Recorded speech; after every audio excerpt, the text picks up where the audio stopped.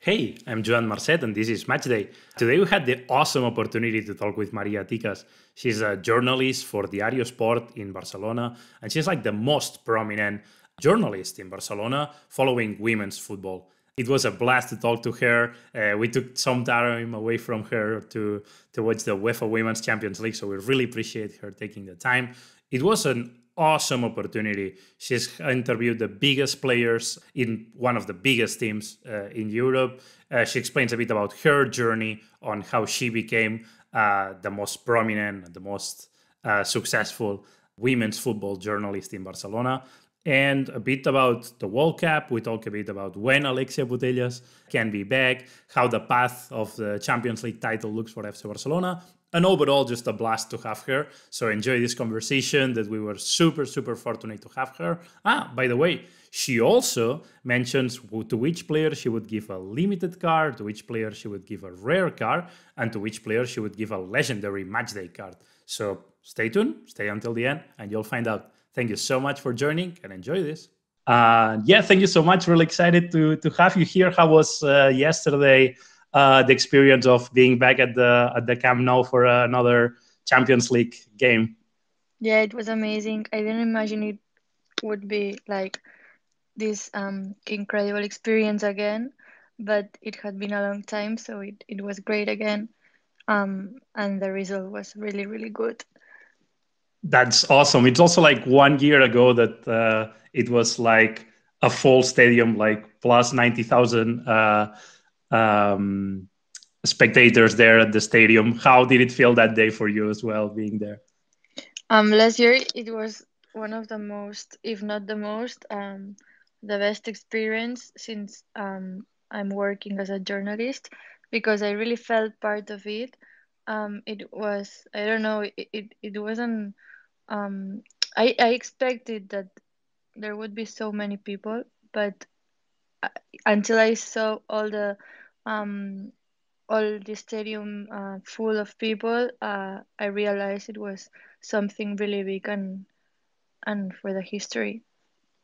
Well, how do you think that that day like changed a bit the the like the way also that that um, that uh, women's football is is perceived in the city, right? The the connection with the team and and, and Barcelona and, and the city itself on that day was like. Uh, it felt like a like a turning page, like like a milestone.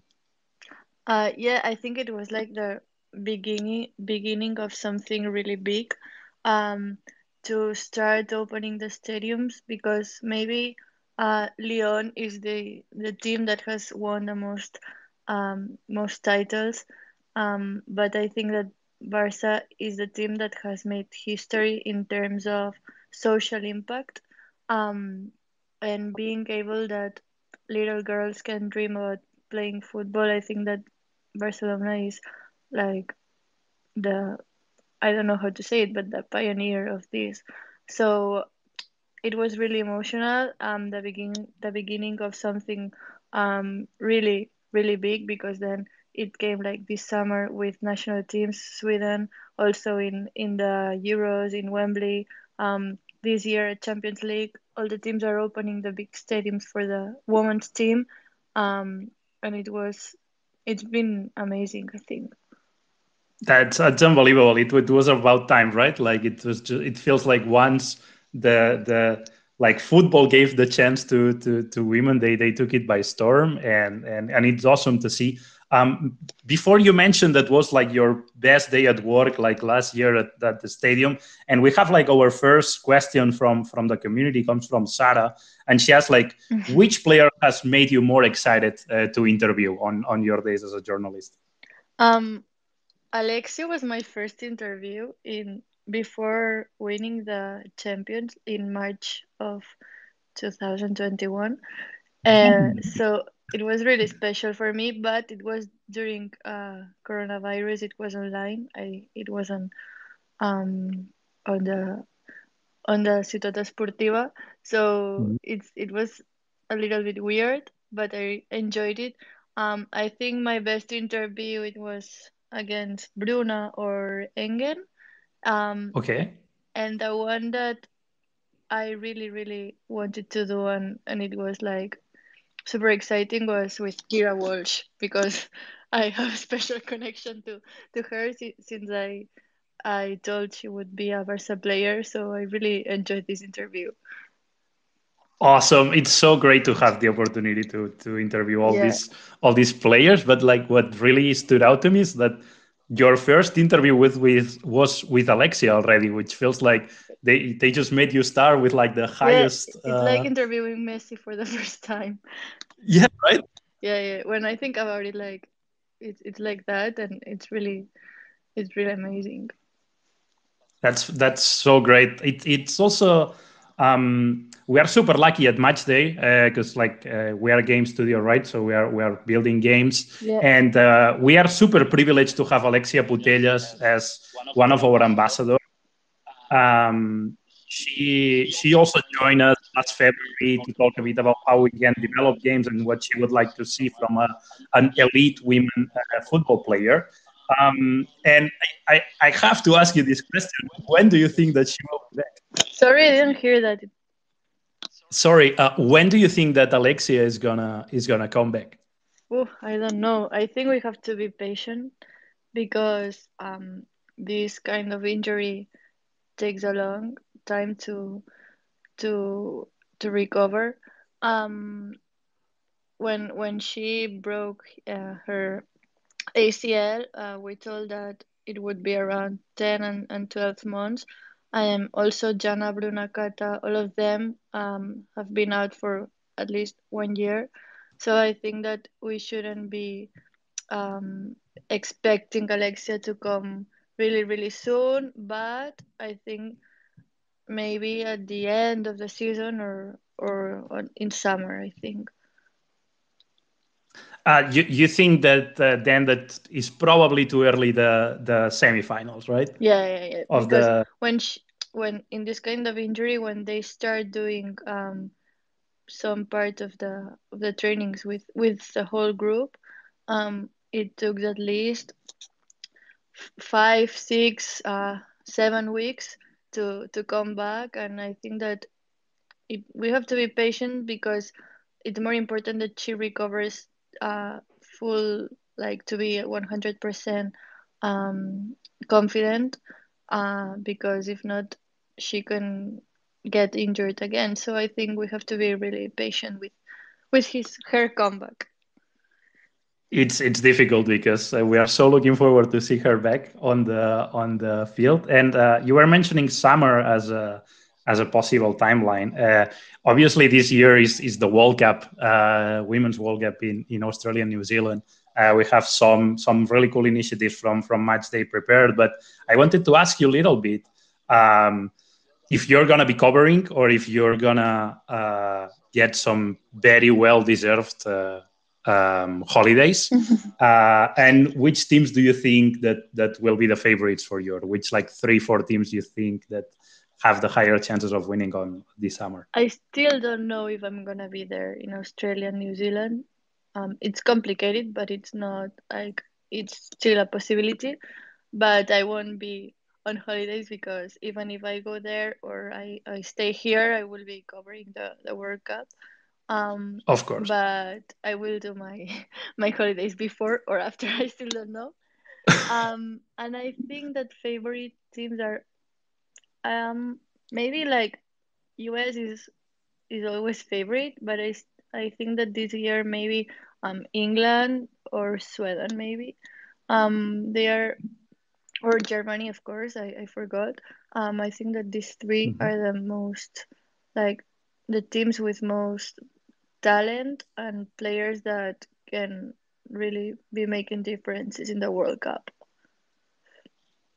Um, I don't know if you follow much uh, like the, the American League uh, of uh, football, uh, like the, the NWSL. Um, this week we have announced a partnership with the Washington Spirit. Uh, that's our first partnership. It's obviously uh, with the women's football team. We're really, really proud about it. Um, what do you think that what do you think that has been the advantage for the for the US in the last for the USA in the last editions where they have been dominating so much? Uh, I I don't have time to follow to follow the the league there because I can imagine. I, I would be crazy because like I really don't have time. I, I, I have time to watch the, the Spanish league, also the leagues in Europe, the most important leagues in Europe, and of course the Champions League. Um, but US have always been um, into into women's football. The they have always put like a lot of money to women's team and teams, and I think that um, women's national team has always been more important than men's national team in terms of winning titles and and their presence around the world. Um, so I think that the key is like really believing in the girls' team, um, and putting and putting some money and, and having good conditions. But I think that this year is not maybe the favorite because I think that they're like in transition, um, with some experienced players and now like with really young players. Um, and I think that other teams are like better than than them. Uh, let's see. It's um, it, it's gonna be really excited. I, am it's always great. I think the last uh, Women's World Cup was already a, a fantastic event. Yeah. It's always great to, to to because it grows so so much the the sport. Um, also as a as a super prominent already. Like you have had like a, a star, a, a, meteoric start onto onto uh, journalism uh, in Spain. How has it been for you? Like also as a young woman covering a, a growing sport in a in a, Spain, unfortunately, still a very male-dominated uh, sector. Um, how has it been for you finding your space, finding your voice, uh, and and and just becoming like so successful in in, in covering in covering uh, FC Barcelona? Uh, it's a difficult question. um, I, when I started like working at, at Diario Sport, I was a fan of, of Barcelona's women's team since like I don't know, I don't know how many years ago, but I, I felt like I was I had a responsibility to to give that um, visibility that that women's football needs to have. And and i really like to to explain and to get people know what was happening and what is happening with with the women's team in barcelona and get to know their players and and and how they play and and all this kind of stuff. So i really felt like i had a lot to say about them and and a lot of people ask me but don't you prefer to to be covering the men's team? And i always said that i prefer covering the women's team because um they do not have that visibility that they deserve maybe.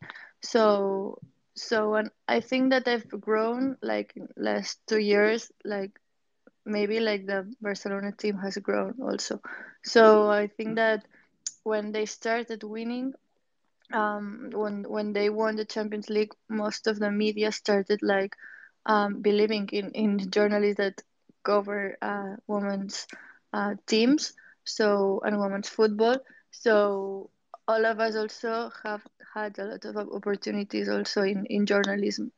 So it's been like a journey that it's been increasing um, with increasing opportunities, and now I really have time to to talk about it because it I used to do it like when it was um I have I had uh I was like a community manager in sport and in like my free time or when I didn't have time I also I always um find some time to to talk about women's football but it was not like my main job and now it is so mm-hmm. I think that it's like I'm really fortunate to do it yeah, fortunate and also like you as you mentioned, you have interviewed like the biggest players. You yeah, have totally. awesome pieces. So it's super well deserved. It's uh, very, very for a very privileged, but also like super, super well earned. Um, talking about Barca a little bit, uh, they just uh, well, they, they just cruised uh, against Roma yesterday, five one uh, at home, as you would expect at the Camp Nou.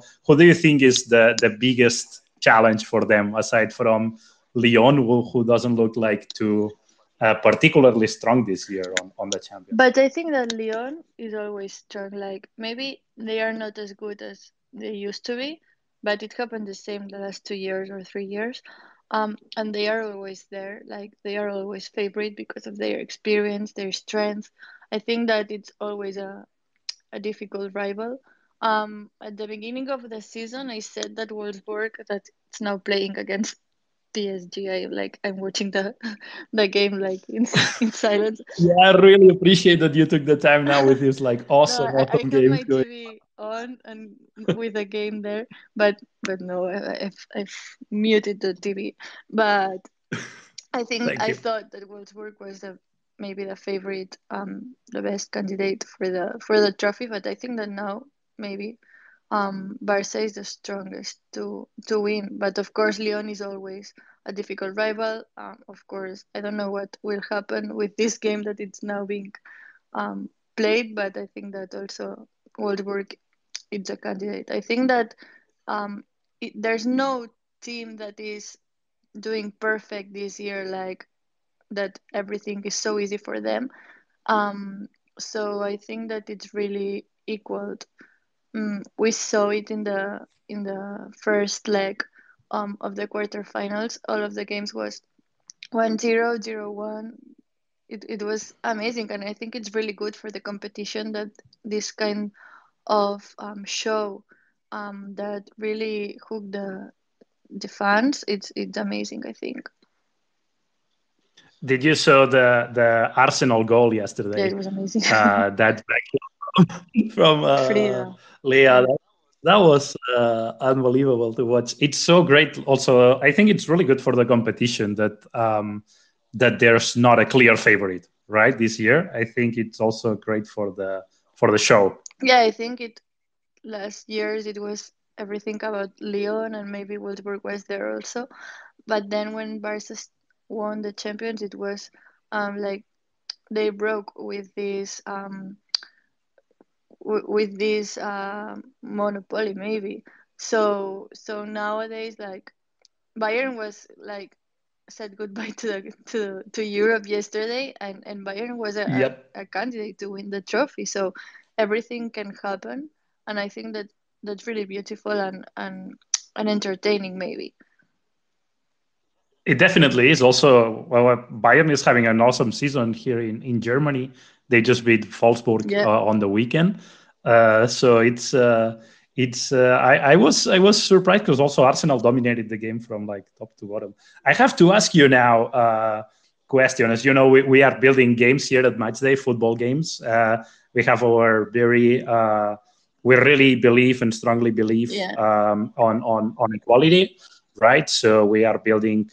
we are soon um, don't have dates yet, uh, but we are planning to to start launching uh, women's cards. And I wanted to ask you, Maria, if you are a, a gamer, like either a video gamer or a mobile, uh, or you play some mobile games. Uh, um, when you have a bit of time from covering all this all this great action from FC Um, not really now because, as you said, I don't have time.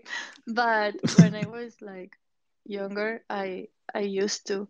Um, I have I've always played FIFA um, on the PlayStation and and and also some football games on I don't know the names but on my computer when I was like a teenager.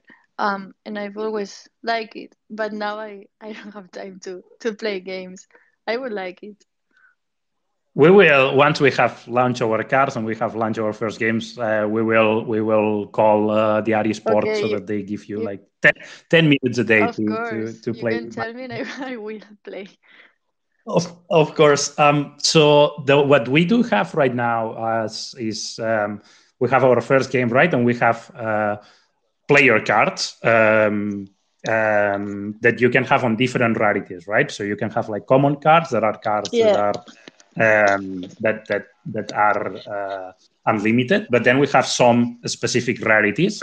So we have uh, limited rarity that is like the second least, uh, the second more common. Then we have the rare cards that are the second most valuable, and then the legendary cards. What I would I would propose a game to you, and is that if you could essentially give me your top three of players uh, right now, assigning these rarities. So who would be your, your limited player or top three in the world, your rare player with top two in the world, and your uh, legendary player with top one in the world using this uh, match day uh, rarities for to, to pick your your top three right now. It doesn't have to be like the best player. It can also be your favorite Um, players for. It's for about whatever this season of or the whole.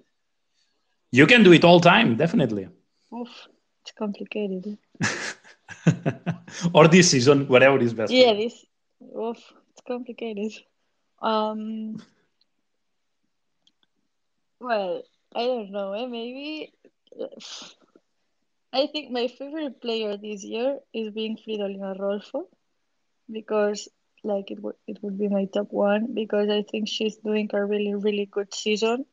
Um, she's been at a great level like regularly, like maybe all games or almost all games. So I think that she would be my top one. Um, I don't know how if I, I don't know. So legendary card would go to Fridolina. Um, talking about this season. Mm, second one, what was called the second card? The rare uh, rare card. Rare card to maybe Mapi León. I think also Oh wow, he's she's doing great. she scored an awesome goal. Yeah, it was Uh, it was a banger. And it, awesome. it was not the first. I think like this season she has scored like three really good goals or four. I don't know. And last year against Madrid it was another amazing goal. Um, and also I don't know. I really like Lena Oberdorf in Wolfsburg. I this I, I think that maybe last season she was even better than, than this one, and also in the Euros she was really really good. Um, but, and I really like this player. To say a player from another team, I would say Lena maybe. Yeah, it's, it's it's great. I was about to ask you if you would choose like players from different uh, Yeah, from different say- teams, which would there be? But Yeah. but uh, I love it. No, Lena is also like a huge huge deal here in Germany. I uh, I was following the Euros, as Yeah. you know, Germany reached the final. Then uh, Popp uh, couldn't play the final, so Germans are still a bit a bit sour about that. Yeah. Uh, For me, but she was the second best player in the world last season. So Lena. Yeah. definitely. she she's top class. She's definitely top class. You know what? Matchday we also like uh, like a bit of uh, to to spice things up, and we have uh, Sean, uh, one of my colleagues here, that sent himself one of one question, a pretty dangerous question actually. Is uh, if you could sign one player from from uh, Real Madrid uh, to the FC Barcelona team, which one would it be? That's a tough Mm, one. Don't like like things spice things up. I would say I like some players from Real Madrid. I, re- I really do, but I don't think that any players. Maybe it's a little hard that I say this, but I don't think that any Real Madrid players would be starting the starting eleven in, in Barcelona. But I really like Maite Oroz, Teresa Abelleira. Mhm. And of course, Caroline Weir, I think that she's a really good player. Maybe her, I would say her. What about this new like teenage sensation uh, that they just signed? Linda Caicedo. Yes. I think she's a really, really good player, and I think it's a really good signing from Real Madrid. Um, she, if everything goes well, I think that she will be a top player um, in a few years. But I think that she's still really young, and uh, they are putting a lot of pressure on her, and maybe she needs some time to to adapt to European football and and to compete to big clubs and big teams. But I think that she will be a, a star um, in the next years. Yep. Let's. Uh, it looks like that. It looks like that. They've seen some some videos. It looks really awesome. But what, as you said, like with teenagers, putting a lot of pressure can be uh, can be a bit dangerous. Talking about young players, uh, what do you think about uh, Salma Paralluelo? And uh, the, I always struggle pronouncing the surname. I'm sorry. I prefer Uh, Salma. Salma, right? It makes it way easier. Yeah. Uh, she, she's she's like making herself some some space on the starting eleven right now. I didn't think that she would adapt so and fit to the team like so quick. Um, it surprised me because I've I've seen her with like she came from an injury last year uh, to Villarreal. Um, then also this summer she played for the for the World Cup. Um, it was like she was also injured. She, injured. She, she was not like one hundred percent fit. Um, and she when she first played with Barcelona, like it took some months. So so I didn't expect that she would fit like so quickly. And I'm I really like like how she's playing. I think that she's a special player. Also, she have some some way to improve, but but I think that if she um, follows uh, the Jonatan Giráldez um, suggestions and and how like she can be even more like she really knows that she can do better but i really like what Mhm. she has shown um in barcelona and she has a lot of personality so i really like her It's one of these players that you just see her walking and you think like, wow, that's like a, a footballer, right? Yeah. It's it has all Or the all the because she, Yes. she, she has a lot of, like the physic physical aspect like she's from and like, Definitely. Also, now you mentioned Jonah. Uh, like I know uh, Twitter Barca fam is uh, crazy uh, about him. Uh, you know, it's always uh, I always receive so much love, and also he has a very special personality, right? Has you have you had the chance to to interview him and? Uh, or, or, or you ask him a lot of questions on, on the press conference. Yeah. I, not, I uh, haven't interviewed him because I, I'm always talking in in press conference like when it comes to this time of the year that with a lot of um games important games we Wolfsburg almost scored um Ooh, yeah no no it, it didn't um get in. Um so I was saying um when it comes to this time of the year um we have a lot of press conference like pre-game um post-game and we have the opportunity to talk to him a lot and um I really have to say that it's a pleasure that he always talks about he, he talks about football and also always if you ask him any question um he has an answer and also I really appreciate that he talks in Catalan because he's from Galicia so mhm. so I think that I I always ask him in Catalan um, because I really like that she's I he's um talking in Catalan when he's not Catalan at all. So um it says a lot about him also. Definitely. No, I, do you know how much Barca fans love Yeah. that. Uh, so that's uh, that's uh, that's a great plus. Definitely, we we should think about maybe uh, holding one match day session in in Catalan, Maria. If you want to repeat the next one, we can Okay. also uh, we can also check it out. Um, just to just to to close this. Um, uh, we'll definitely record this. Uh, you will find this in uh, podcast form as well uh, on on the match day uh, social media channels. You can follow us here. You can follow us on Instagram. Uh, Maria, it's been such a pleasure, such an honor to have you here. Uh, we haven't talked uh, in a while. We, we we met each other when we were uh, working at, at FC Barcelona, and I'm so so grateful uh, and so happy for for the awesome career that you're having Thank and, you. and so so happy and grateful for you joining today it's uh, definitely it's uh, it's it's great. And uh, yeah I, I think that you will you are in for a, a treat this season with FC Barcelona following them. It's going to be great. And thanks so much. Thank you. It, it's been a pleasure.